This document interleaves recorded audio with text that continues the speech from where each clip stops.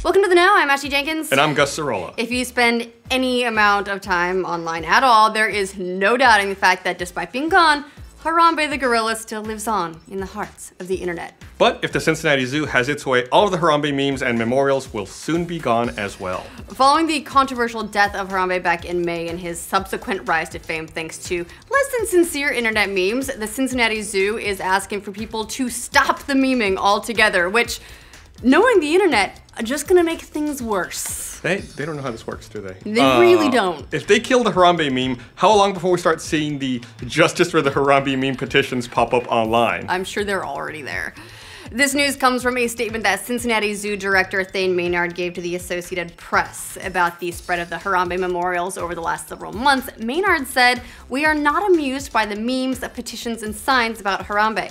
Our zoo family is still healing, and the constant mention of Harambe makes moving forward more difficult for us. Maynard went on to say, We are honoring Harambe by redoubling our gorilla conservation efforts and encouraging others to join us. This, of course, has ignited pockets of Harambe lovers and faux Harambe lovers all over the internet who are accusing the zoo of trying to bury the story by asking us to forget Harambe. But of course, we will never forget. We are the internet and everything is on the internet forever.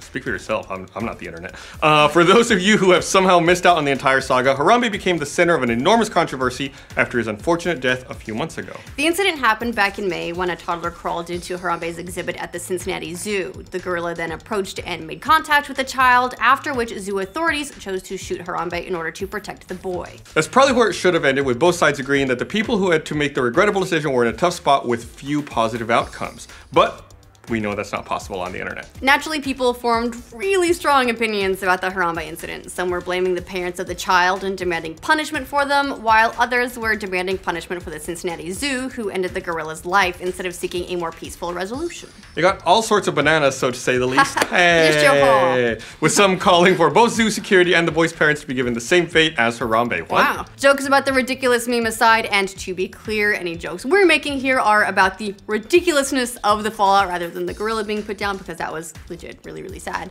It was a tragic event. It was a classic case of damned if you do, damned if you don't. But when has sense ever stopped the internet? Never! Following the outrage, a number of petitions formed online regarding Harambe and his untimely demise. First, there was the Just for Harambe petition, which asked for the parents to be held accountable. That one's now got over 510,000 signatures. Then there was the Harambe's Law petition, now with over 210,000 signatures. So there are about 300,000 people sleeping on the job. Uh, it was calling for tighter restrictions and legal consequences when endangered animals are killed. How many signatures did the Dicks Out for Harambe petition get? Do we know? Millions, probably. The internet doing what it does best, aped the conversation to put a new spin on the word meme by creating a series of memorials for Harambe. Aww, I'm getting all the puns. You are. You're good at the puns. You like the puns. I do like puns. the memorials took the form of your typical internet memes like photoshopped movie posters of remembering Private Harambe, but also a series of way more ludicrous petitions than the original ones sticks out. For starters, there's the petition to erect a Harambe statue outside of the White House. There's also a petition to include Harambe in the upcoming Pokemon Sun and Moon. Ouch. Harambe is a ghost type apparently with the ability meat shield. That's that's ow. That's, that's I mean, it's not cool. Like it's one of those things that like you have to laugh to keep from crying, but it hurts. More than 10,000 Harambe supporters took to whitehouse.gov to put Harambe on the $50 bill. There was also the call to change Cincinnati's name to Harambe City. These things all happened. This is what we do here.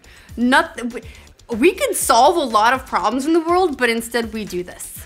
Well, speaking of solving problems, if you're worried about either of our presidential candidates this November, a oh, recent no. Texas poll showed that Harambe has 2% of votes in the Lone Star State. We're doing good. Doing real good.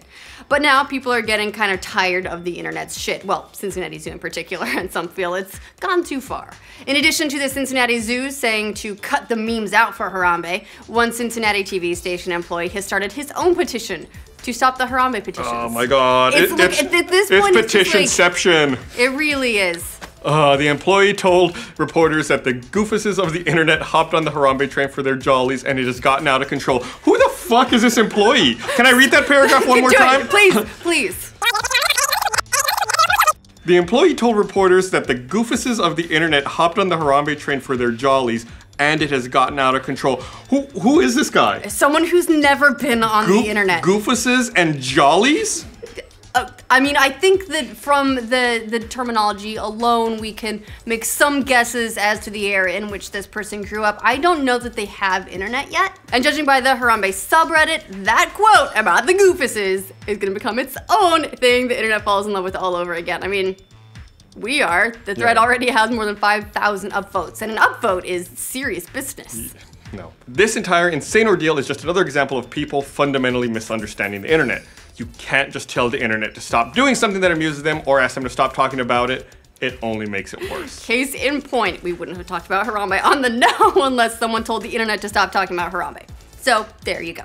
By making these statements, Zoo pretty much guaranteed that every single major news outlet is going to be covering Harambe memes for the next few days and probably inspire the internet all over again to greater and greater heights. Those goofuses. Uh, if there's anything people should know about the internet, it's that people love a good challenge. We see the same thing every time someone gets the big idea to let the internet name something, hoping that maybe this time the internet won't vote to call our new research vessel Boaty McBoatface, or new Mountain Dew flavored the Gushing Granny. that by the way the internet will never get better the whole thing is also an interesting look at how memes form online and take on a whole new life. While there is a subset of people using the Harambe meme to mock the fact that the gorilla died, which sucks, the bigger thing at play here is that this is a commentary on the internet's ridiculous, totally polarizing responses to what went down. Wrong or right, it's a response to the response, an attempt to one up the people who were one upping each other about how sad they were over Harambe's death. And while it's obviously hard for the Cincinnati Zoo, it was clearly a traumatic, major event that put an unwelcome spotlight on their facility. In some ways, the internet giving rise to this ridiculous meme helps Harambe to live on in a really strange sort of way. There are people out there who would have no idea who he was if not for these memes. True. And of course, there's gonna be some goofuses in the mix, but this is how the internet shows its love. And in many ways, the meme started as a response to all the vitriol and people calling for the zoo to be punished in the first place. But now we've ensured that we'll have plenty of more Harambe to take us through at least the next few weeks. Gonna be seeing an awful lot of dicks out. What do you guys think of the Cincinnati Zoo telling the internet to leave Harambe alone? Has it gotten too far out of control? Let us know in the comments. And for future updates on the super weird fascinations of the internet, because we love them too, like this video and subscribe to the know. I did this whole read with my dick out. For you, Harambe. It was really hard not to look down.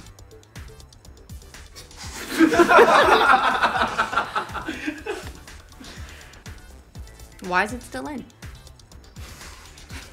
Yeah.